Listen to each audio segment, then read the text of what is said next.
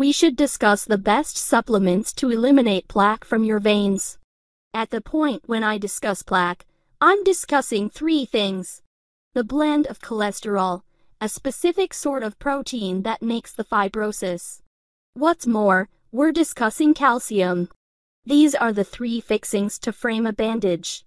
At the point when you have irritation or on the other hand, some sort of issue in, within your vein. The principal thing to know is there's two kinds of plaque. There's delicate plaque, and afterward there's hard plaque or calcified plaque. They're both incredibly unique. The delicate plaque is truly shaky. It's more hazardous. The hard plaque, the more thick plaque, the more steady, the less hazardous. The delicate plaque is multiple times as normal as the calcified plaque. At the point when you get a CAC test, they give you a score. Furthermore, this score truly addresses the amount of plaque you possess in your veins, essentially, the calcified plaque.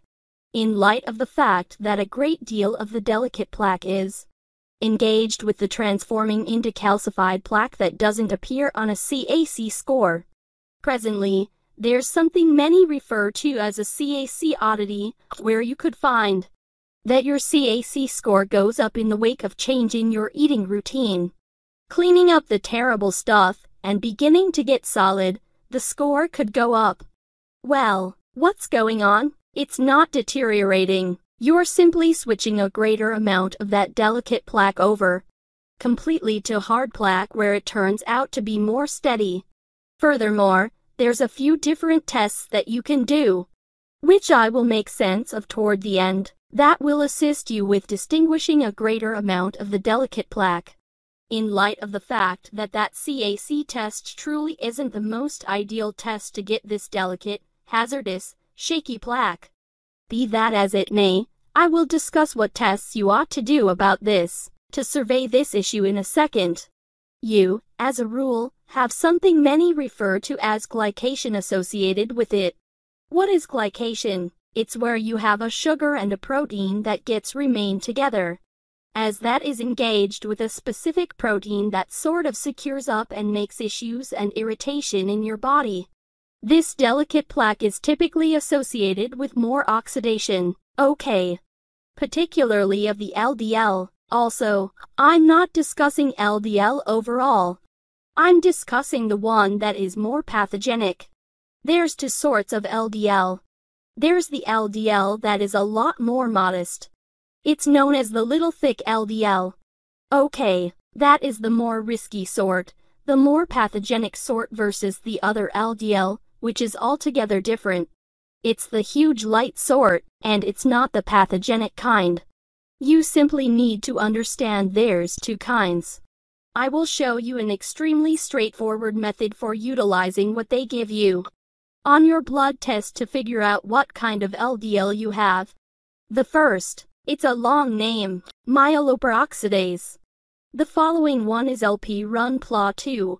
So those are the two biomarkers that help get, assuming you have this delicate plaque. Presently, another test that most likely would be far and away superior on the off chance that you can do this. What's more, it's a moderately reasonable, speedy, painless test. It's ultrasound of your carotids. Furthermore, that gives like a 98.6% expectation of having the issue. There's another truly significant qualities to take a gander at as well. Is your HDL alright? You believe that should go up.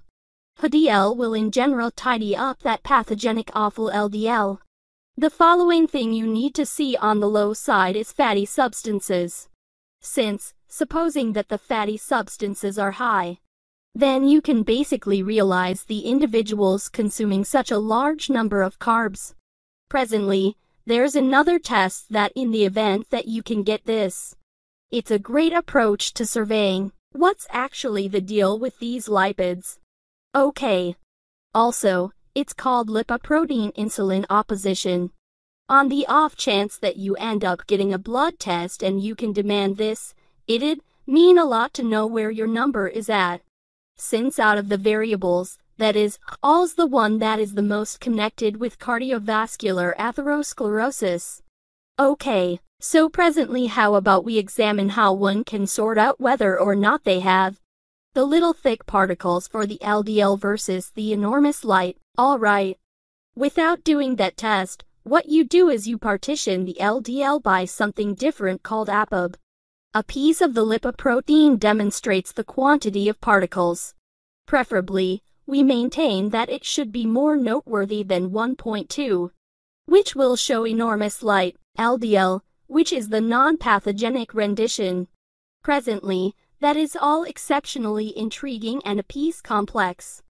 So I need to bounce into what supplements can assist with eliminating this plaque. Okay, well, the initial to supplements are number 1, pycnogenol. That is pine bark. You'd need to take 150 milligrams pic. Knob helps convert the delicate plaque to the calcified plaque, where it turns out to be more steady, and furthermore, it forestalls the development of plaque. What's more, the following one is called gotu-kola. You'd need to take 450 milligrams of gotu-kola. Gotu-kola helps upgrade the capability of pycnogenol, so it will assist this transformation with seriously penning plaque. It will likewise forestall the development of plaque. Number 3 cure is vitamin K2, which is the most powerful inhibitor of vascular calcification. It essentially prevents the calcification from happening in your veins. I wouldn't suggest taking vitamin K2 in micrograms. I would suggest taking it in milligrams. Furthermore, I've glanced around to track down an enhancement that, that will give you the sums in milligrams. There's relatively few, and I for one, don't have an item like that. What's more, I don't have no affiliations or relationship with whatever other organizations that do. Aside from I found one organization that has it gives it. It's life expansion. It's called Super K2. I'll put that connection down beneath. So the following cure is nattokinase. Nattokinase can assist with diminishing the thickness of the carotid wall. Also, the last cure is called niacin. Try not to get the supported delivery one. Get the one that makes the flush. I realize certain individuals could do without that, yet to the extent that cholesterol goes, it is what you want. Presently, I'm not pushing that, you take simply a great deal of sustenance. I'm giving you the ones that are the most strong. I'm likewise going to discuss a few different ones next, that additionally make a few astonishing impacts for plaquing. I simply need to make reference to them, since I would rather not forget about them. Tocotrienols helps decline aggravation of the supply routes. It's a kind of vitamin E. Berberine is a great one. You have additionally matured garlic. You have magnesium and potassium that assists with mellowing the veins, assuming they're solid and unbending.